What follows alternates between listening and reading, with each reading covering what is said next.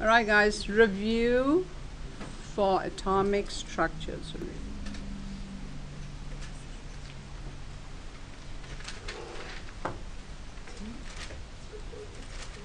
Atomic structure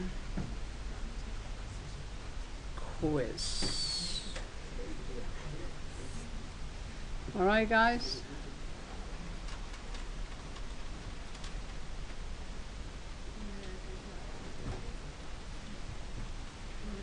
All right, the atom has a nucleus which has protons and neutrons. Neutrons are zero, protons are plus, and the electron goes around it. Electrons has sublevels. Okay?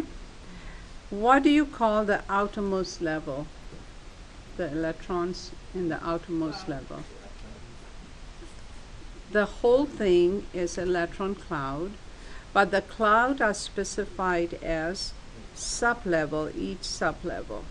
All right, the outermost level electrons are called valence electrons. All right, these are called valence electrons.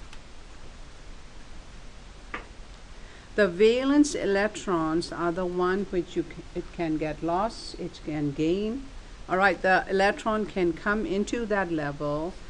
That level valence electron can get lost from here and go to another atom. Okay? So you have protons, neutrons, and electrons. So let's see the pro you know it. Proton number has to be same as electron number. All right, protons are called atomic number.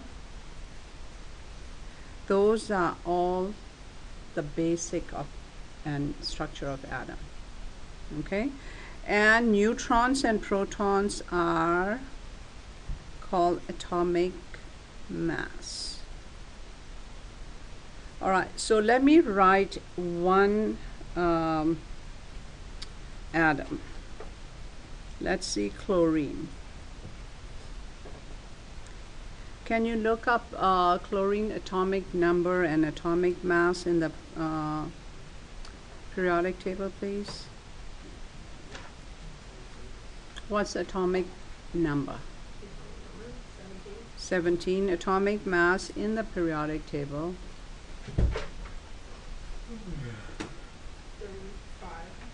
35. All right.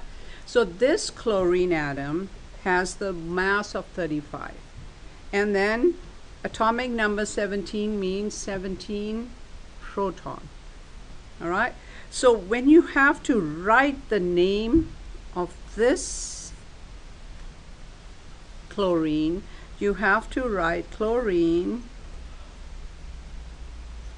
dash 35. It is not negative, it is dash 35. What does this dash 35 means? The, this chlorine atom has a mass of 35. Can the, another chlorine atom, can it be 36? So what do you call these two chlorine? Isotopes. Got it?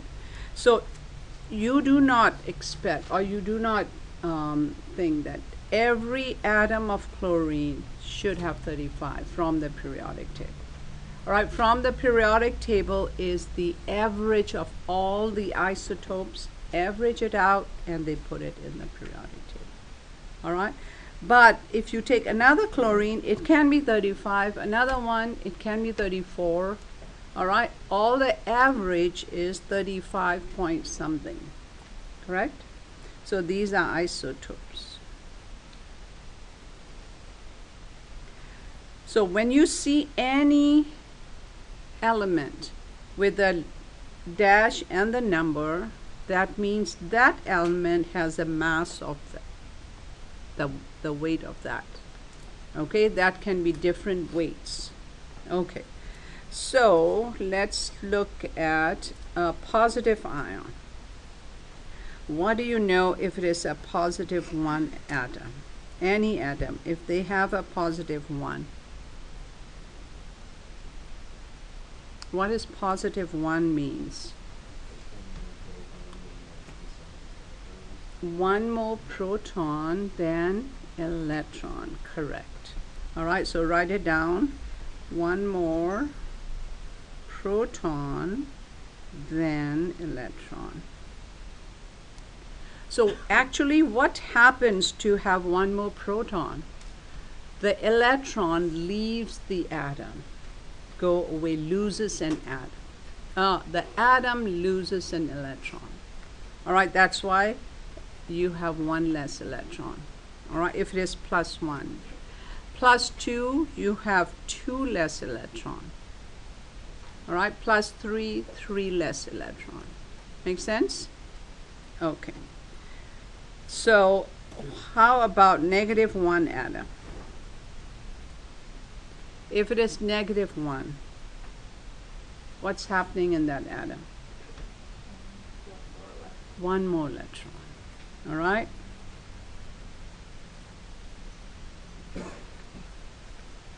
So when you have to look at the positive and negative ion, cation and anion, you have to just find the protons. All right, if it is a positive ion, the electron will be less than a proton. If it is a negative ion, the electron will be more. Okay, so let's look at um, nitrogen. All right, nitrogen can be negative 3. What does that mean? Okay, let's see nitrogen negative 3. How many protons, neutrons, and electrons are in that nitrogen atom? Go ahead and do it quick. If you know this, first what you have to find out. how many how many protons are there so atomic number take out your um, periodic table from the textbook please you don't even need to. So tell me nitrogen how many what is the atomic number? Seven. But you have to now go ahead and find out the atomic mass. How much? 14 all right these two find out first. And then you can fill this in. So atomic number 7 proton is 7 and electron will be 7 how many neutrons? 14 minus 7 7 but this is this one is a neutral atom because electron and protons are the same. But this atom has negative 3. So how many extra uh, electron will you have? Three extra. So total of 10. Make sense? Got it? Just write it down. Don't do it in your head. All right? It's an easy math, but its chances are you can be wrong. If you write it down, it's so you are 100% sure this is correct. All right? Okay, let's do one more uh, for a positive ion. So which one is positive? Uh, let's see, ion, Fe. Fe plus 3. Now, what is Fe atomic number and atomic mass. And atomic mass? Is it rounded up? Hmm? 56. All right, this is a big atom. So let's see how many protons, neutrons, and electrons by looking at this. So 26 protons, 26 electron if it is neutral and how many neutrons 30 neutrons but this is plus 3 here all right plus 3 doesn't mean it it should not interfere with the atomic mass or atomic uh, number All right, plus three means the electrons are leaving that atom, losing atom. So how many electron does it lose? Three. All right, three less electron than proton, so you have to minus three here, so 23. Make sense? Very easy. All right?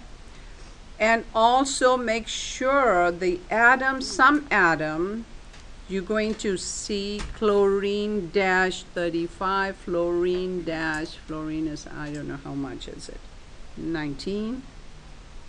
All right? So if it is dash 35, that means that 35 or whatever number after the line is the atomic mass. Okay? So when you when you see the name, you should be able to find out the symbol like this. If you see the symbol, you should be able to put the protons, neutrons, and electrons. Either they can be cation or anion. Cation is positive, anion is negative. That's all, guys. All right, got it? Okay. So study, study, study. Let me